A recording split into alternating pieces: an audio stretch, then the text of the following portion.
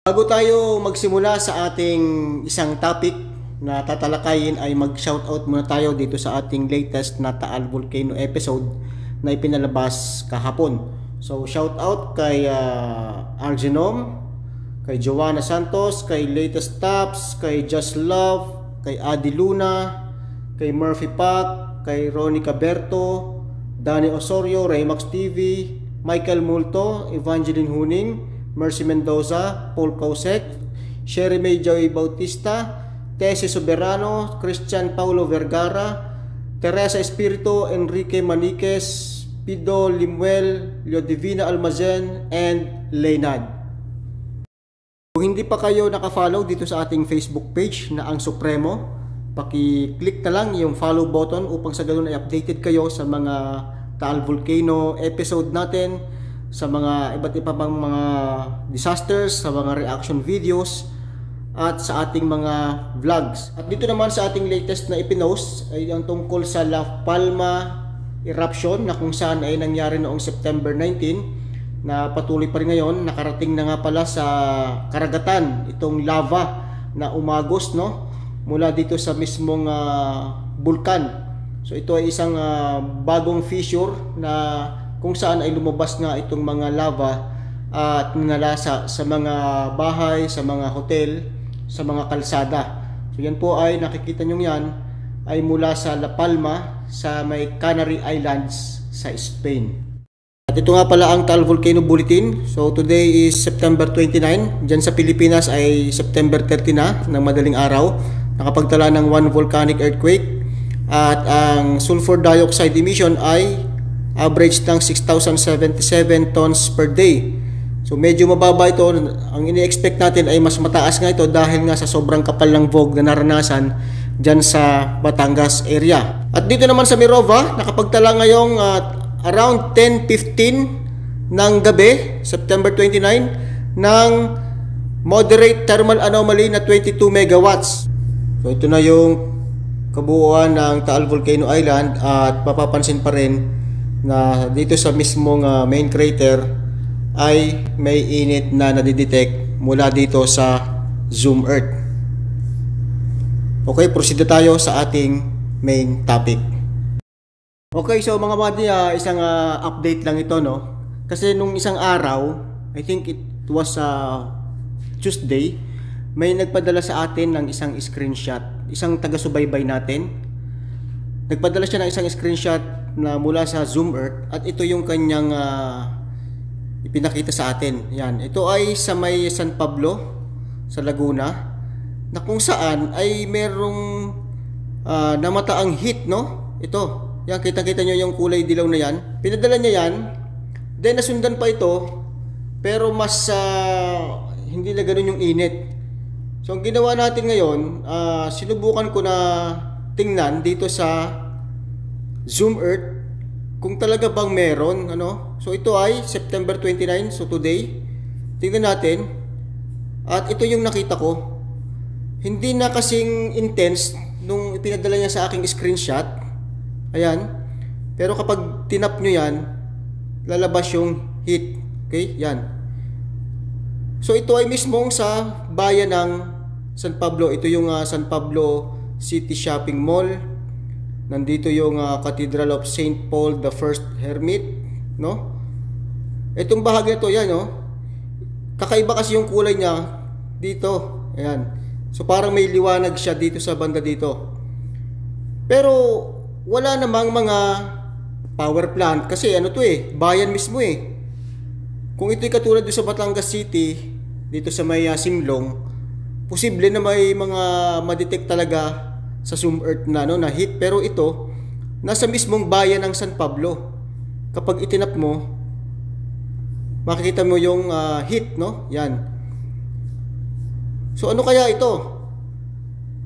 Ngayon, kung natatandaan nyo ay nakapag uh, vlog na rin tayo tungkol dito sa Laguna Volcanic Field or itong uh, San Pablo Volcanic Field. Itong mga nakikita nyo na ito. Ito ay mga volcanic crater lake, no? Or yung Mars na tinatawag. At sa pagkakaalam ko, itong uh, Sampaloc Lake, nakatabi mismo nitong uh, kung saan nakikita itong hit na ito ay ito yung pinaka youngest or ito yung pinakahuli na pumutok 500 to 700 years ago ata. So tingnan natin yan mamaya dito sa Wikipedia no. Binubuo ng mga scoria cones, Mars cinder cones at stratovolcano ito ng uh, Mount Makiling. So nasa ba yung Mount Makiling? Ito. Yan. Itong banda dito sakop na ito ng Laguna Volcanic Field. So tingnan natin dito sa Wikipedia kung ano ba yung uh, sinasabi na Laguna Volcanic Field. Ayan. So the Laguna Volcanic Field also known as the San Pablo Volcanic Field, is an active volcanic field in the Philippines, located between Laguna de Bay, Mount Banahaw Volcano Complex, and Mount Malipuño Range. It is part of the larger southwestern Luzon Volcanic Field.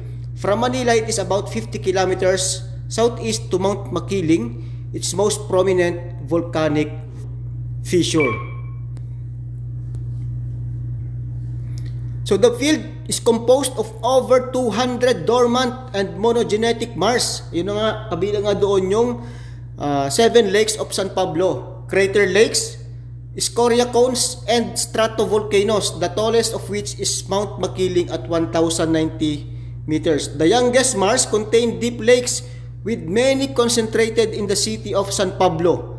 The youngest Mars, 1.2 kilometer wide Sampaloc Lake So ito ay nabuo 500 to 700 years ago according to local legend, the last major activity in the volcanic field.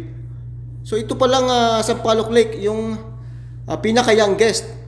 Ito yung mga kabilang sa Mars, yung Alligator Lake sa Los Baños, Lake Bunot, Lake Calibato, Lake Gunaw, Imok uh, Mar, Lake Mujica, Palakpakin, Pandin, Sampaloc Lake, Tikub, and Yambo.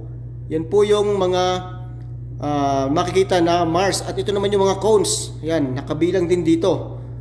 So kung titingnan natin dito sa Google Earth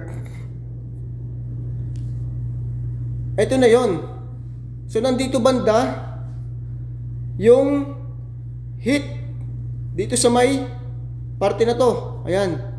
Liceo de San Pablo San Pablo Colleges itong uh, shopping mall dito sa San Pablo dito banda. Balik tayo dito sa Zoom Earth para makita ninyo.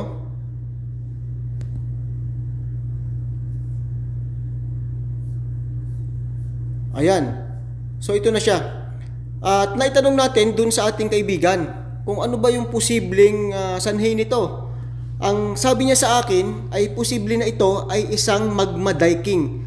Ibig sabihin, may natitira pa rin na mga uh, supply ng magma sa ilalim, no? Na pumapaitaas. Kaya ito yung na-detect ng uh, Zoom Earth na init. So ang tanong, puputok pa kaya itong mga volcanic crater lake nito? Kasi ayon nga doon sa uh, ating binasa, ito ay mga monogenetic Mars. Kaya pag tinawag na mga monogenetic Mars, Ibig sabihin, ito ay isang beses lang puputok. At kapag ito naman ay tinawag na polygenetic Mars, yun yung pumuputok ng hindi lamang isang beses. Patuloy natin na imo-monitor itong area na to kung uh, anong mga mangyayari sa susunod na araw kung patuloy pa rin na makaka-detect dito ng uh, init dito sa bahagi na to. Pero kagaya ng ano sinabi ko kanina, nung unang ipinadala sa atin, itong uh, screenshot ng area na to ay mas matindi pa yung init. So ngayon ay medyo nawawala-wala na siya.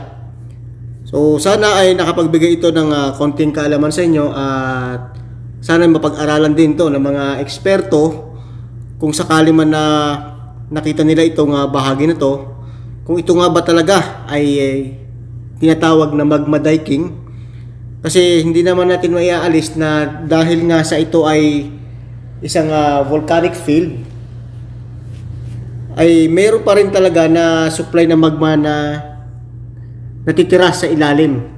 Kagaya nga ng dito sa may Mount Makiling na talagang uh, may mga geothermal uh, plant pa dyan. Ibig sabihin may init pa rin na nanggagaling mula sa ilalim. Although na sinasabi ng Mount Makiling ay isang inactive stratovolcano.